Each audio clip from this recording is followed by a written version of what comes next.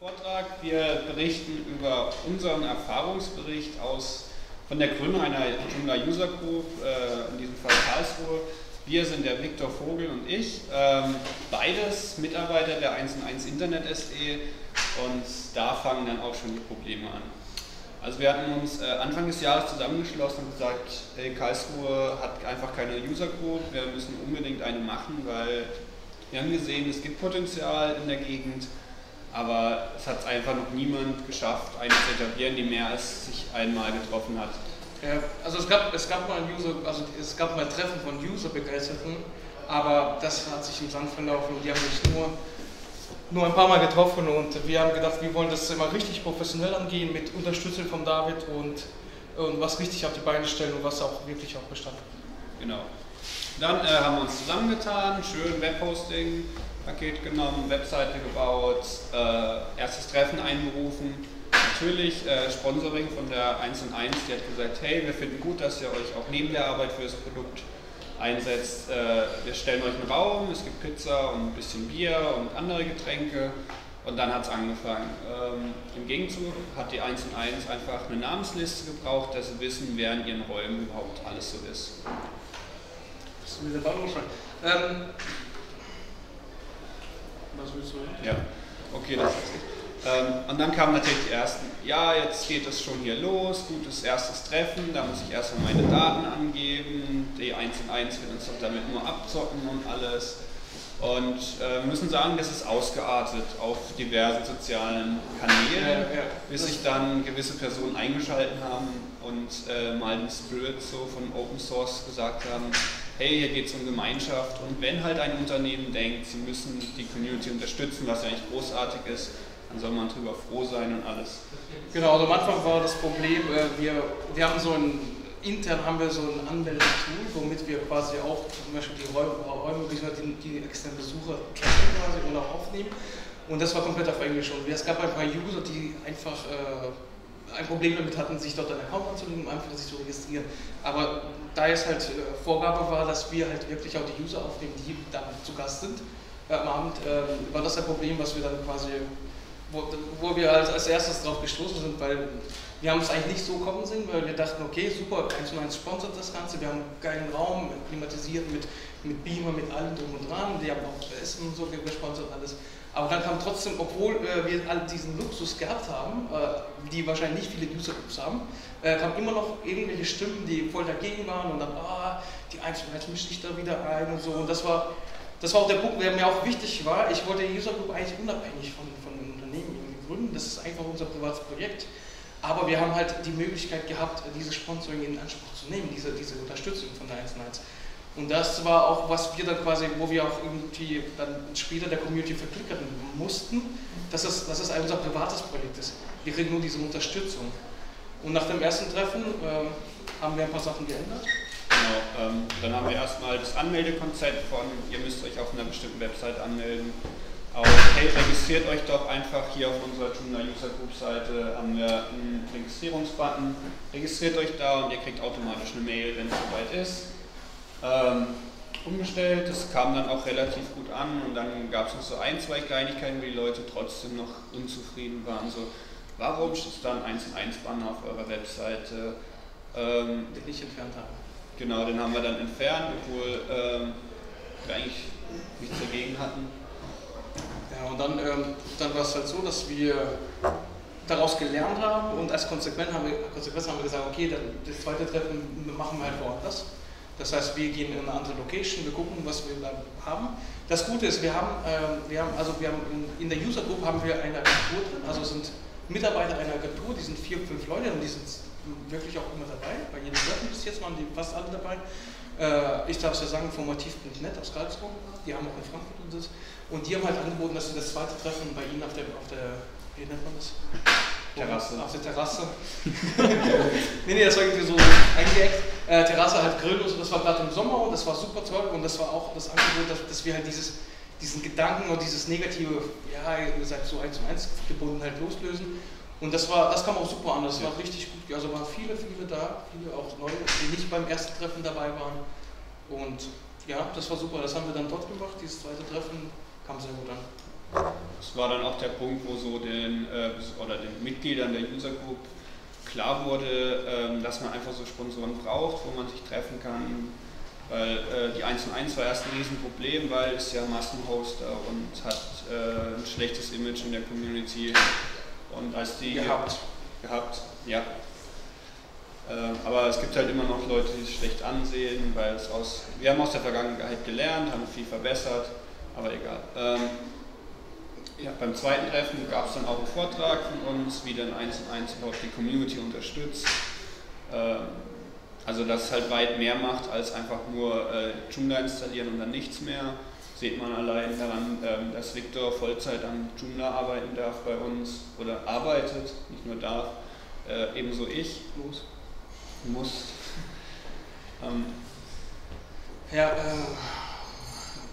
genau, also dann ging es halt weiter und äh, wir, haben, wir haben halt beschlossen, wir werden die Treffen halt in verschiedenen Locations machen. Bis jetzt äh, ist es halt dazu gekommen, äh, dass wir die nächsten zwei Treffen auch wieder bei der 1 und 1 gemacht haben. Was aber kein Problem ist, weil für die, die es irgendwie ge ge gestanden haben, dass wir einfach nur diese Möglichkeit kostenlos nutzen können, weil wir haben uns natürlich auch andere, also andere Locations angezeigt, aber meistens äh, ist es irgendwie verbunden mit, dass du irgendwie, wenn du zum Beispiel einen Beamer oder brauchst, dass du dafür zahlst oder wie auch immer. Und wir wollten ja, dieses User Group soll ja einfach nur ein Treffen sein und, äh, und, von, und, und einfach nur Austausch von, in- von Joomla-Wissen oder von, äh, von Interesse, also gleichen Interessen. Und wir wollten das nicht irgendwie auf kommerziell oder wir wollten auch kein Geld von diesen Mitgliedern oder von diesen User Group Teilnehmern irgendwie nehmen.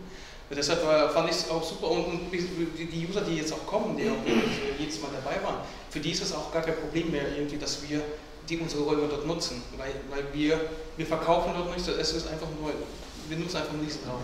Und für mich war es von Anfang an sehr wichtig, ich habe auch der andere hier auch ganz klar gemacht, äh, wenn Sie zum Beispiel im Blog, im 1 und 1 Blog was über die User Group schreibt, dass es einfach, äh, einfach neutral geschrieben ist, wie unser privates Projekt und quasi wir, äh, wir, wir nutzen, das- Entschuldigung, wir nutzen das Natürliche und ähm, diese Reichweite, um, um, um unser User Group quasi gut darzustellen, das ist ja logisch.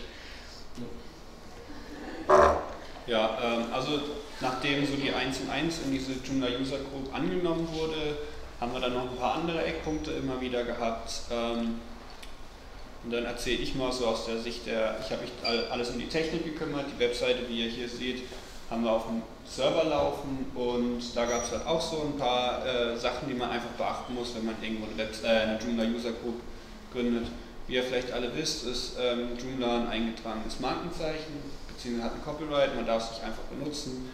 Ähm, deshalb empfehle ich jedem, der eine User Group gründen will, erstmal den Footer so anzupassen, dass eben die Joomla User Group äh, offiziell anerkannt und lizenziert ist. Das könnt ihr machen, indem ihr euch auf joomla.org einfach registrieren lasst. Das ist ein einfacher Prozess. Ihr stellt ein Ticket, schickt eure Webseite mit hin, so wie es so schon ist. Die sagen, ja, okay, hier habt ihr den Footer, passt ihn einfach an und dann passt alles. Ähm, wenn ihr dann noch äh, mehr Verbreitung sozusagen wollt, könnt ihr euch auch auf joomla.de melden. Da gibt es auch eine Ansammlung von Joomla User Groups, wo dann auch immer die Termine stehen. Äh, bevor ihr natürlich eine gründet, guckt erstmal, ob es eine bei euch Gegend gibt. Kurze Frage, ich sehe das gerade. Muss das auf jeder Webseite, die Joomla benutzen, im Footer stehen? Ich weiß, Nein, dass nein, es nein, erwähnt nein, werden muss, es kann auch im Impressum ganz unten sein. Es muss irgendwo erwähnt werden. Das, das muss, wenn du Joomla benutzt, das, das ist unabhängig davon, das brauchst du nicht hinzuschreiben. Aber wenn du irgendwas mit Joomla oder in der Webseite, der URL irgendwas mit Joomla benutzt, dann musst du dich eigentlich davon, quasi du musst angeben, dass du nicht offiziell für Ja. Joomla irgendwas machst. Also Genau. Copyright. Okay, so. Aber ab privat nein, gar nicht, auf keinen Fall. Da schreibst du einfach hier Copyright. Äh, Ja, nicht bei. Ja, genau. Klar. Ja, okay, und dann äh, lief die Seite ja erstmal auf unserem Server und äh, ich bin ja so ein bisschen so Performance-Fetischist und so. Dann habe ich gemeint, ey, was kann man da machen? Da äh, habe ich gemeint, okay, wir müssen, natürlich haben wir die Seite optimiert und alles.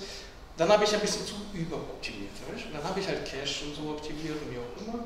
Das Problem dann war, äh, die Registrierung ging nicht mehr. Man konnte, der Token, ihr kennt das, Token Access Denied, wie, wie heißt das? Token ist nicht gesetzt. Nee, Auf jeden Fall, weil ich diese Invalide. Invalide, ja. Ich habe ich hab die Seite gecached und es war super schnell und dann keiner registriert sich. Was ist denn los? Es sind keine da, obwohl viele im Forum sogar mich kontaktiert haben, hey Victor, hier, was soll ich machen? Habe ich geschickt, hier, registriert euch, da seid ihr auch im Newsletter-Verteiler drin. Super. Und da kam nichts rein. Und ich, hey, was ist denn los? Dann habe ich, äh, hab ich selber getestet Und dann kommt diese Invalid-Token. Das ist ja ein generelles Joomla-Problem. Wenn man zu sehr äh, diese Cache so nutzt, muss man aufpassen, dass man halt diese Registrierungsformulare so, dass halt da, also dafür sollte man den Cache nicht zu sehr hochdrehen. Beziehungsweise wenn man diese Funktionalität braucht. Äh, und dann, äh, das haben wir natürlich dann optimiert und so, dann habe ich auch äh, da ein paar Sachen geändert. Äh, aber äh, mir ging es halt noch mehr. Wir haben zum Beispiel das Ganze auf einem Apache laufen gehabt und da kam Lukas ins Spiel und der hat vorgeschlagen, wir ziehen halt die Seite jetzt mal um auf Nginx. Und das war auch so ein cooles Abenteuer und wir, das war auch gleichzeitig so eine Studie, äh, um zu zeigen, äh, Joomla läuft super schnell, super geil auf, auf Nginx.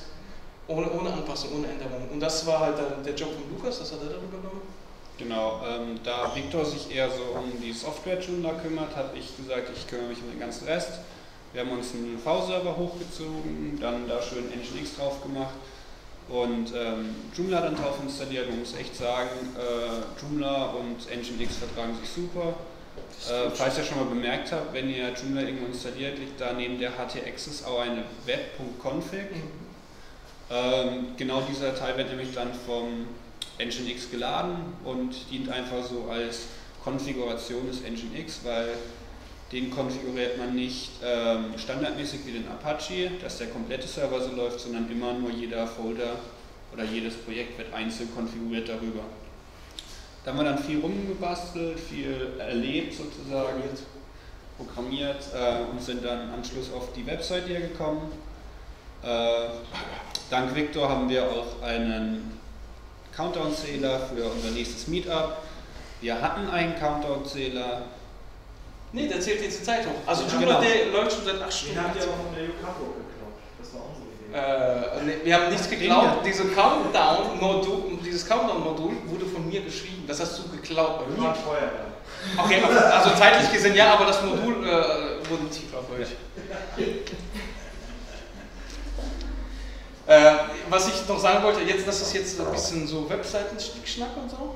Ähm, jetzt wollen wir mal vielleicht auf die User Group selber eingehen. Es ist natürlich wichtig, wenn ihr sowas gründet, also ihr müsst selber natürlich sehr aktiv sein. Also wir waren in den ersten Meetups immer, äh, beziehungsweise haben wir viel übernommen, auch zum Beispiel Vorträge und sowas.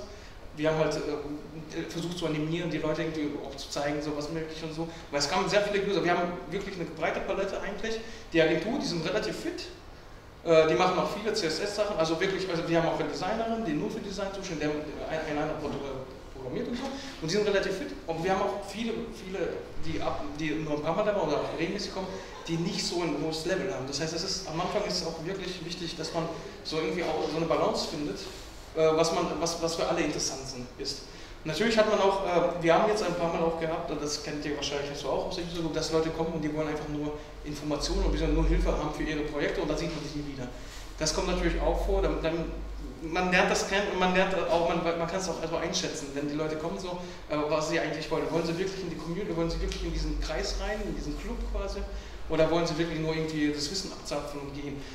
Ich weiß nicht, äh, bis jetzt kam es bei uns nicht so krass vor, aber ich denke, das muss man dann von Fall zu Fall gucken und vielleicht auch den Leuten darüber reden und sagen, ja, wir, sind, wir wollen eigentlich uns regelmäßig treffen, wir wollen eine Gemeinschaft bilden und äh, auch zusammenhalten und nicht irgendwie nur das Wissen abgreifen und gehen. Und dann haben wir natürlich für jedes Meetup haben wir Sessions vorbereitet. Wir haben, äh, keine Ahnung, zwei, drei Vorträge jeden Abend dann gemacht, jedes Meetup gemacht. Dann hat jeder halt was übernommen. Genau, also äh, und was ich auch als sehr, sehr wichtigen Tipp an alle weitergeben möchte, die eine Joomla User Group gründen, lasst euch einfach nicht entmutigen, wenn die ersten zwei, drei Meetups nicht äh, viel los ist. Ja. Das muss ich rumsprechen. Dann kommt der eine beim ersten Mal, hat beim zweiten Mal aber keine Zeit, gibt euch auch nicht Bescheid und ihr denkt, ja, der war jetzt nur so da.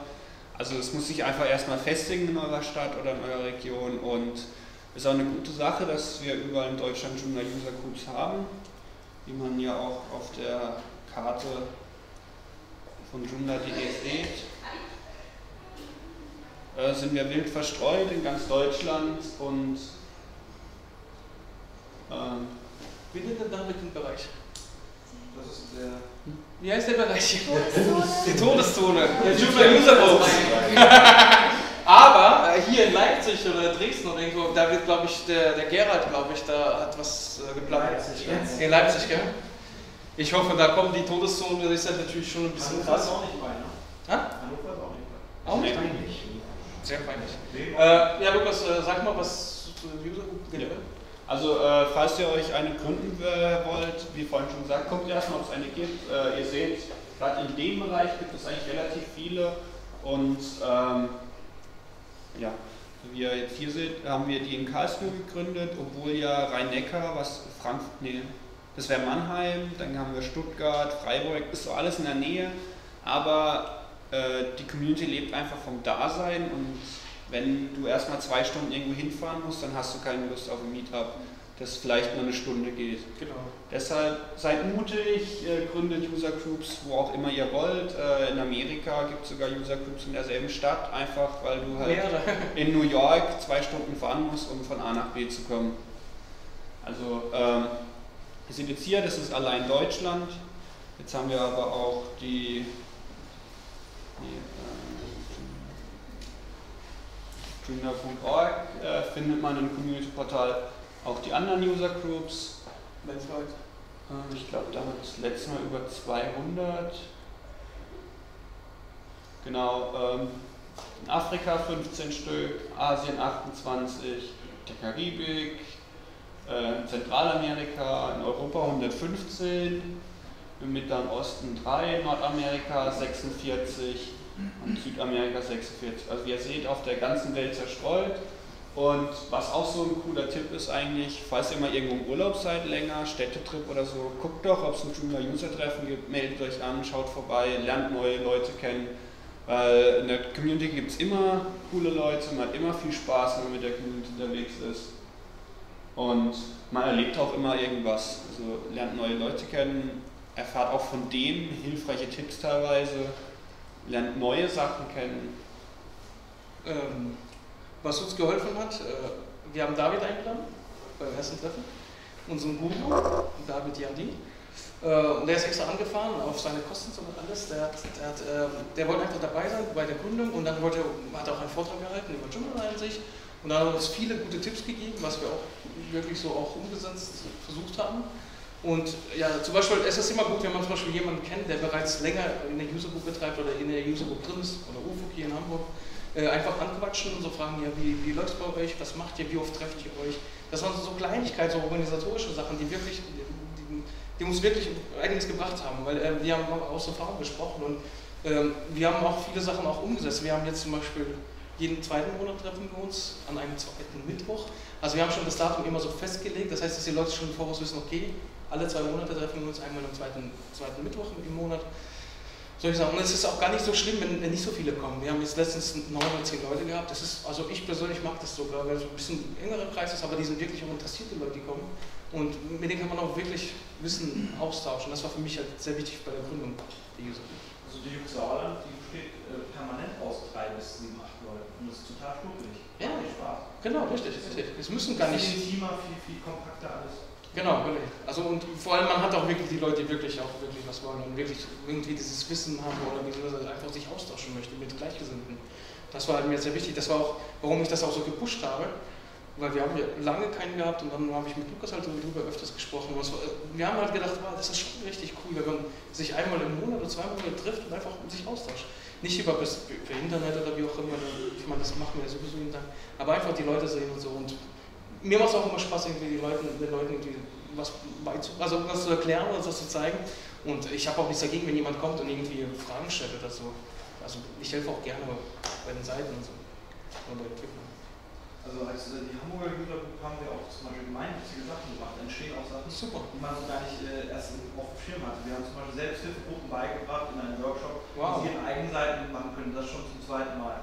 Und da gibt man dann auch als die Junior-Gruppe und anderen Leuten was mit da entstehen auch Projekte, wenn man möchte. Man muss nur die Idee haben. Super, ist eine super Idee, das könnten wir eigentlich aufnehmen. Ja. So was man, äh, wir haben zum Beispiel geplant, so einen kleinen Workshop zu machen. Das Problem ist, die Zeit ist halt immer ein bisschen das Problem. Weißt? Wenn man sich halt am Abend trifft, nach Feierabend, unter der Woche, ja. muss man halt immer gucken, wie man das macht. Aber die Idee ist eigentlich super, so ein bisschen gemeinnützig. Ja, ja, es sind keine Limits gesetzt. Ja.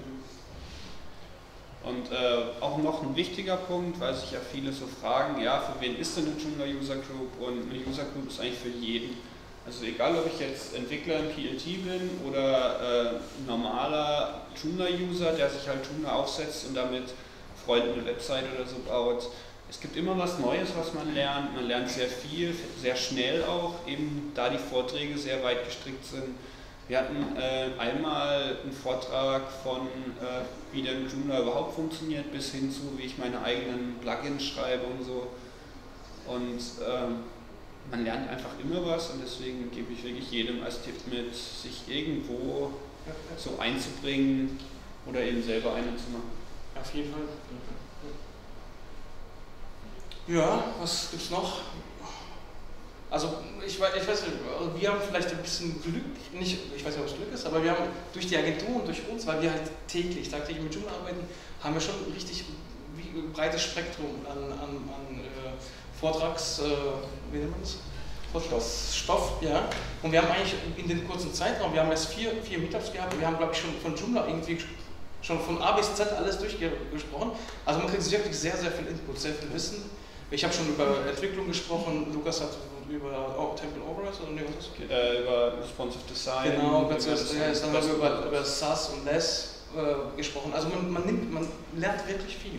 Es, es lohnt sich auf jeden Fall ein Aspekt, äh, wenn man als User dahin geht in die Gruppe und äh, wenn man Probleme hat zum Beispiel, dann ist es auch wichtig, zum Beispiel so Leute wie Dali zu kennen und die einfach mal anzuschreiben und zu sagen, da brauchen wir ein bisschen Mediation und so weiter, weil es gibt manchmal Leute und Gruppen, die so harmonieren und das ist ganz gut. Also da muss man nicht sofort sagen, äh, ich gehe da nie wieder hin ne, und das ist schlecht und äh, ich bin jetzt beleidigt, sondern man kriegt da auch echt Hilfe von den Leuten, die etabliert sind. Das ist echt. Die, die Community hilft sich. Genau. Was gibt es noch? Äh, Newsletter, wir verschicken halt Newsletter.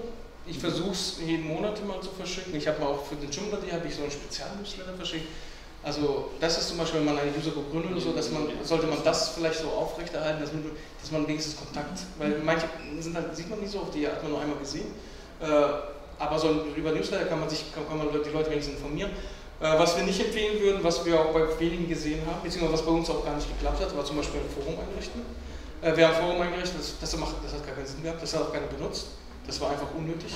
Und dann das hätten wir auch pflegen müssen und wir auch immer maintainen. Haben wir auch rausgenommen. Also auch eine Wissensdatenbank oder Galerien, die dann da vorgeschlagen werden. Äh, das sieht einfach nicht, gell? Die Leute das, das, funktioniert. das funktioniert einfach nicht. Das ist ja auch keine Seite, die irgendwie tagtäglich von irgendwelchen äh, Joomla-Interessenten besucht wird. Die wird vielleicht einmal aufgerufen, um einfach nur zu sehen, wann das nächste Mittag ist und fertig.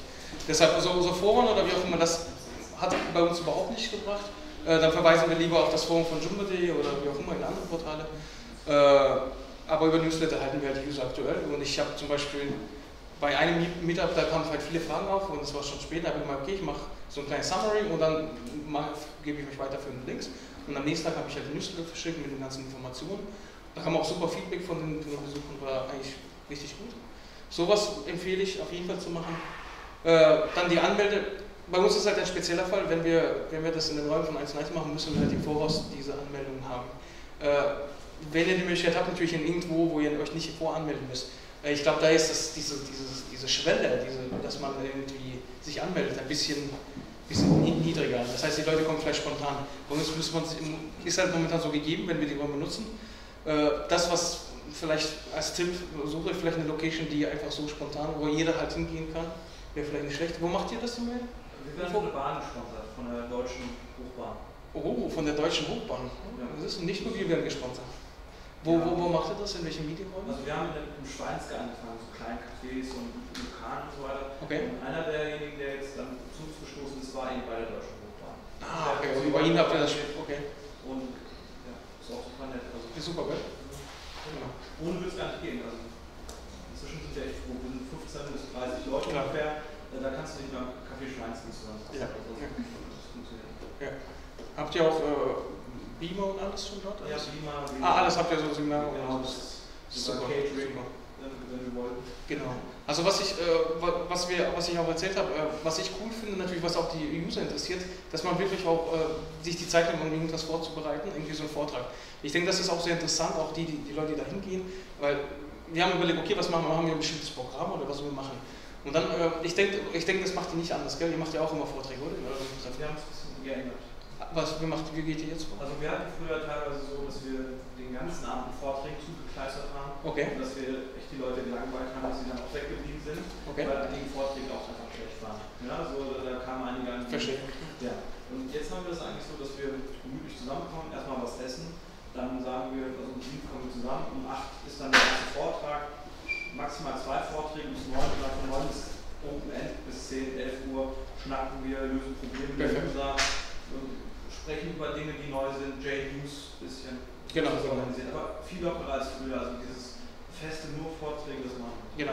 Also wir haben zwar jetzt auch immer fest, aber bis jetzt, Ja, wir haben es ja auch zwei. nicht, wir haben es auch nicht übertrieben. Ja, immer so zwei bis drei Begrenzen Vorträge. auch die Vorträge auf eine halbe Stunde explizit. Und wir, wir machen gar- wir haben auch so die halbe Und Stunde. nur 20 Minuten. auf Wunsch der User wird es dann verlängert. Genau, genau. Wir haben auch am Anfang, äh, im zweiten oder im ersten Meetup haben wir so eine Liste aufgestellt. Was interessiert euch überhaupt? Was wollt ihr hören? Was wollt ihr wissen? Äh, ja, Akiba Backup, wie immer. Also Backup erstellen, äh, whatever. Äh, Template Overrides schreiben, äh, CSS-Anpassungen, wie, wie, wie, was mache ich mit Joomla? Äh, wenn, oder was weiß ich, Ausgabe ändern oder was weiß ich. Ich habe ja zig Möglichkeiten. Oder Suchmaschinenoptimierung wird ja auch sehr oft gefragt und sowas. Und anhand der Liste haben wir prior- priorisiert, was wir dann vorher zuerst machen. So. Und zum Beispiel, ich habe geplant, so einen kleinen Workshop so wie gerade eben zu machen. Das Problem ist, die Zeit ist halt limitiert. Deshalb muss ich halt gucken, bis jetzt ist es noch nicht zustande gekommen. Ich denke, das werden wir bei einem nächsten Meetup irgendjemand angehen. Und das interessiert auch die Leute. Und deshalb, die kommen ja auch, wenn du gute Vorträge hältst oder wenn die gute gehalten werden. Ähm, und dann haben wir ja auch immer, keine Ahnung, das beim zweiten oder dritten Meetup kam halt eine Frage auf, irgendwie, wie funktioniert semantische Versionierung? Und dann habe ich halt in 10 Minuten, so einen kleinen 10 Minuten Vortrag mit, mit Beispielen und so, habe ich einfach spontan was erzählt. Und das ist auch ganz cool, wenn ihr sowas halt in der User-Group habt, dass die Leute irgendwie spontan einfach hinstellen und einfach was erzählen. So irgendwie ist auch ganz, ganz nett. Das, ja, bitte Ja, schön. wie so eine spontane Idee, mir fällt ein oder auf, wenn man so eine User-Group hat, dass man einfach mal, es sind bestimmt in der Umgebung, weil du sprachst, es kommen zwei Stunden Anfahrt, das muss ich Ja. sagen. Ich bin sicher, dass in der näheren Umgebung einer User-Group auch Leute sind, die, wo der, dieser Wunsch schlummert, ähm, ich möchte jetzt eine Webseite machen und die haben überhaupt keine Ahnung. Und wenn man sich dann in der lokalen Presse mal präsentieren würde, Mhm. vorstellen würde, wir sind hier, machen Webseiten und dann mal Joomla präsentieren und sind in die Gruppe, dass einfach die nähere Umgebung über die Presse angesprochen wird und dann kann man vielleicht auch ähm, Freunde akquirieren. Genau. Das Problem mit der Presse ist, äh, man hat da schwer Zugang. Ja. Mit dem Thema Joomla ist es Andere nicht so sexy. haben ja gar keine Ahnung von dem Thema Web. Da ist immer eine Sache des Verkaufens. Also da sehe ich kein Problem, dass man da die öffentliche Also Presse mit der kontaktiert. Hilfsgeschichte, also mit den Selbsthilfegruppen zum Beispiel, ein bisschen provokativ. Ah, Selbsthilfegruppe hat immer so einen negativen Touch. ne? Ja. Nee, also äh, Presse ist wirklich ein äh, Problem. Die Presse will Geld verdienen, ganz klar. Man Ähm, muss ja nicht zur Bild gehen, man kann ja in die Lokalpresse gehen. Da kann nee, man, auch Lokalpresse, das ist relativ schwierig. wenn man Die Geld sehen. Äh, was man halt machen kann, sind die Veranstaltungen, dass man sich da reinsetzt. Aber meine Erfahrung aus zwei Jungs ist jetzt, dass halt das eher nicht funktioniert mit der Presse. Das finde ich sehr interessant. Das Kannst du ist mal probieren? Ja, also du kannst jetzt mal loslegen. Darf ich als Pressetante dazu was sagen? Ja, sag mal was. Also, also das, das, Problem ist, das Problem bei den Lokalen ist vielmehr die Tatsache, dass ähm, das für eine Lokalzeitschrift einfach ein wenig greifbares Thema ist. Man kriegt die unter Umständen mit dieser Info, ja, wir sind lokal vor Ort, wir sind äh, dann wieder diese Problematik, du hast ein Unternehmen, das lokal irgendwo sitzt im Hintergrund, was die User Group nicht so breit treten möchte, aber was für die Presse vielleicht eher den Ausschlag geben würde, das vielleicht mal aufzunehmen. Ähm, man kann es unter Umständen über Termine machen, aber ähm, das ganze Thema ähm, Software, Website und so weiter auf diesem abstrakten Level, was Joomla eben und User Group bietet, ist halt extrem schwierig da reinzukommen. Jetzt sind wir mal ehrlich, der 0815 Lokalzeitungsleser ist in der Regel eher so ein bisschen älter, hat mit den Sachen keine Berührungspunkte, kann vielleicht PC äh, bedienen, ins Internet gehen, aber darüber hinaus ist dann Interesse auch nicht mehr da. Also hat die äh, Tageszeitung natürlich auch so ein bisschen äh, das Problem damit, sowas abzudrucken. Das ist ja auch klar. Ja, Chico. Also darf ich vielleicht mal Sehr gerne haben. die Menschen da abholen, wo sie sind. Richtig. Und die Presse ist noch woanders. Also Joomla ist ja jetzt tendenziell schon nicht so ganz weit vorn, aber die Presse ist noch viel weiter hinten. Ne? Und das muss man halt so Stückchen für Stückchen machen. Vor allem muss man sich auch überlegen, warum mache ich diesen User Group? Also mache ich die jetzt, zum Beispiel in, in Frankreich gibt es ja diese tolle Erfindung des Apero. Also man trifft sich halt abends auf ein Gläschen Wein und einen Grund findet man schon. Und meistens geht es um Kunst oder irgendwas, oder, aber es kann ja auch mal um was anderes gehen. Und ich habe zahlreiche Computerkonferenzen in Frankreich erlebt, ohne dass irgendjemand Smartphone oder Computer hat. Das ist vielleicht total faszinierend. Ne? Sondern wichtig war eigentlich, dass es genug zu essen gab und äh, dass die Leute irgendwas Persönliches mitgebracht haben. Und meistens war dann auch wiederum jemand von der Lokalzeitung da und hat dann so ähnlich wie bei der Feuerwehr halt das Foto gemacht und gesagt, die waren mal da. Und was ansonsten immer Gutes tue, Gutes und redet drüber. Also das heißt, wenn diese, äh, diese Organisation anfängt zu bloggen beispielsweise, das heißt, wenn ihr euch einfach selber sagt, einmal pro Woche machen wir einen Blog-Eintrag, dieser Blog-Eintrag hat ein Bild und dieser Blog-Eintrag, der wird auch so behandelt wie eine eigene Zeitung, SEO-technisch. Und spätestens wenn eure Joomla Group lokal höher gerankt wird, die Lokalzeitung, werden die sich an euch wenden und überlegen, wie macht ihr das?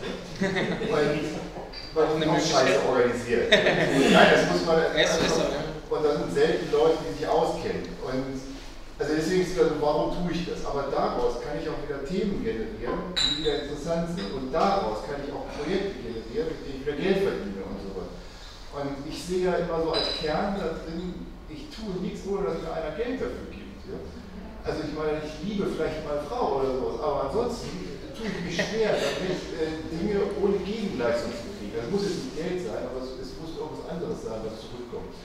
Und ich tue mich auch wirklich schwer damit, mit diesem, wir machen jetzt die Welt besser, indem wir die Usergruppen oder irgendwie was machen. Da muss, da muss irgendwas sein. Ja? Entweder kriege ich Freundlichkeit zurück oder irgendwas aus der Umgebung oder oder. Und das Einzige, was Joomla eigentlich kann, ist eben dieses, dieses Content-Management-Zeug einfacher machen. Und wenn die Leute das Problem noch nicht haben, dann muss man ihnen erklären, dass das was Cooles ist. Ja? Also das, und das muss man denen erklären, weil es eben abstrakt ist. Doch, sorry, Sehr gerne. Vereine vor Ort. Also jeder, jeder, jeder Verein, Verein, hat, Webseite, ja, ja. Verein hat Geld, alle brauchen eine Webseite, ja. die sehen im Prinzip alle, naja, ja. Setzt doch da, macht einen Workshop nur für Vereine, da kommt die Presse von alleine. Ja, ja das haben wir ja schon gemacht. Achso, das ist auch ein bisschen so banal. Also also wir wollen doch nicht unbedingt die Presse da reinbringen. Also genau. Wir sind zufrieden, so wie es läuft. Nein, Moment. Impuls. Richtig. Ich verstehe es. Ja, ja klar. Na, was auch so ein Ding ist, ist diese ganze Social Media Kiste, wo sich alle immer so schwer mit tun. Ne? Also, wenn ich ungefähr weiß, was ich will, dann kann ich auch anfangen, irgendwas auf Twitter und Facebook zu machen, ohne dass mich die Leute kreuzigen. Ne? Und dann, eigentlich ist es eine ganz simple Sache. Ja, einmal pro Woche was schreiben und einmal pro Tag was tweeten, ja? was jetzt nicht ganz doof ist. Und wenn man das macht, dann wird man automatisch bekannt. Ja. Und vor allem fragen die Leute, was ist denn überhaupt dieses Twitter? Und schon ist wieder ein neues Thema. Und wie kann ich in die API anzapfen, um in meiner Joomla-Seite was anzuzeigen? Und plötzlich wird die von der Zeitung hellhörig. Das hat noch nie funktioniert. Ne? Weil die nehmen immer die Embedded-Dinger, die dann wieder auf Mobile nicht funktionieren und so. Und das ist so, rucki zucki kommst du da in was Cooles rein. Also, ja. Ja. Dass Victor mal sprachlos ist. ich bin nicht sprachlos, ich warte auf. Äh, ja, ähm. Was war es das dann von unserem Vortrag? Falls ihr noch Fragen oder Diskussionsbedarf habt, gerne jetzt. Wir haben ja schon angefangen. Und äh, macht einfach weiter mit eurem Joomla, begeistert weitere Leute von Joomla. Ich finde es klasse, Victor findet es klasse. Tauscht euer Wissen aus. Ja. Sehr wichtig. Weil, Trefft coole und Leute. wichtig ist, nicht die Webseite lebt, sondern die Community lebt dahinter. Richtig, richtig. Schönes Schlusswort. Dann danke fürs Dasein. Danke.